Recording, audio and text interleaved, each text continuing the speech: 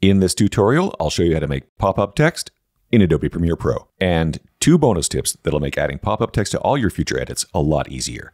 To begin, select the Type tool or just hit T on your keyboard. Click anywhere in the program monitor and type out your text. And if you don't already have the Properties panel open, head up to Window and select Properties. Now, prior to version 25.0, the tools we'll be using could be found in the Essential Graphics panel. But Adobe got rid of the Essential Graphics panel in version 25, and you can now find them in the Properties panel. So if you're still using Premiere Pro version 24 or earlier, look for the Essential Graphics panel, otherwise go to the Properties panel. Here, you can adjust a whole bunch of text settings. For my pop-up text, I'm going to change the font weight to heavy, make it all caps, increase the font size, center align the text, and maybe tighten up the tracking a little.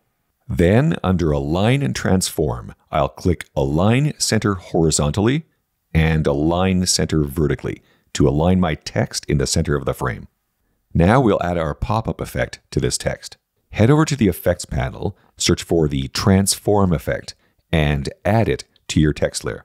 Then make sure the playhead is at the first frame, head over to the Effect Controls panel, and within that transform effect, hit the stopwatch beside scale to set a keyframe.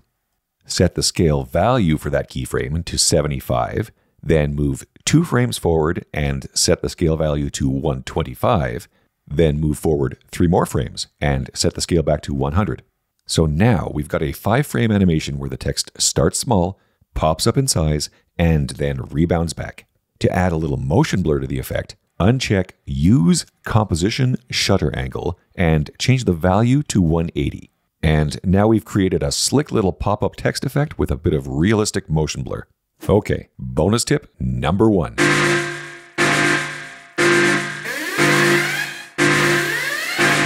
If you want to use this effect again in future videos, you can save it as a preset by right-clicking on Transform and selecting Save Preset, give it a name, let's go with the obvious, pop-up text, select Anchor to In Point, and click OK. And the next time you want to add this pop-up effect to any of the text in your videos, just select the text, search for pop-up text in the Effects panel, drag it over onto your selected clips, and the effect will be instantly applied to all your text. Bonus tip number two.